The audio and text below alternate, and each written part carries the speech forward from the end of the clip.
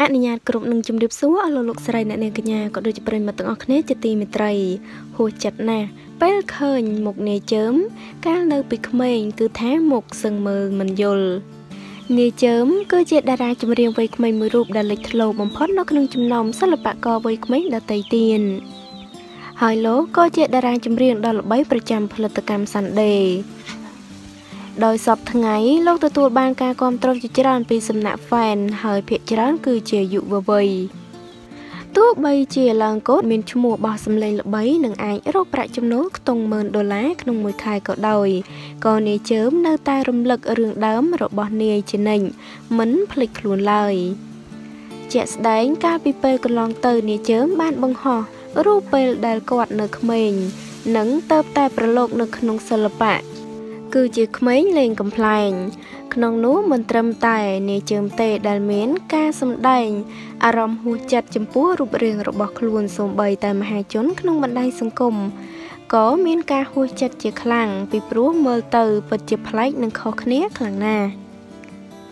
ចានាយជើមកាលពីមុនមកគាត់គឺជាតារាកំ pl ៃមួយរូបដែលទទួលបាន ការគ្រប់គ្រងខ្លាំងពីសំណាក់បងប្អូនខ្មែរយើង ហើយសប្តាហ៍ថ្ងៃនេះលោកបានបដូរអាជីពមកជាតារាចម្រៀងវិញពីព្រោះថាសម្លេងរបស់លោកគឺពិតជាពីរោះទទួលបានការគ្រប់គ្រងច្រើនមិនតិចនោះទេបន្ទាប់ពីចេញពីអាជីពកំ pl ែងនាយជើមក៏ទទួលបានការគ្រប់គ្រងយ៉ាងខ្លាំងពីសំណាក់ fan ភាគច្រើនគឺជាយុវវ័យតែម្ដង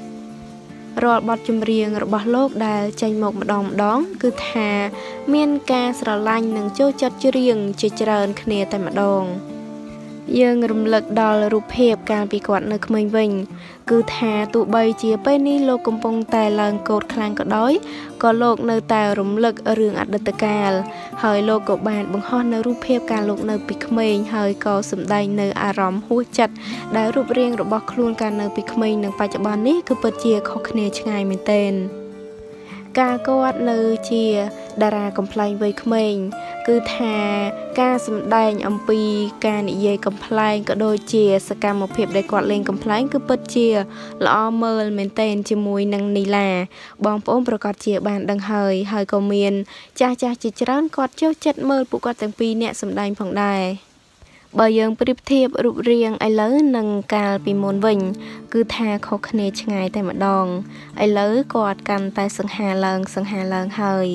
ដែលរូបរាងកាលពីមុនគាត់ជាក្មេងម្នាក់ដែលមានរូបរាងស្គមហើយចូលចិត្តលេងទឹកមុខបែបកំ pl ែង តើបងប្អូនយល់យ៉ាងណាដែរចំពោះរូបទាំងអស់នេះចាហើយតកតងនឹងព័ត៌មាននេះដែរក៏សូមបញ្ចប់ទៅត្រឹមនេះអរគុណបងប្អូនទាំងអស់គ្នាកុំភ្លេចចុច Subscribe និងរូបកណ្ដឹងដើម្បីទទួលបានព័ត៌មានថ្មីៗជាបន្តទៀតសូមអរគុណសូមគោរពលា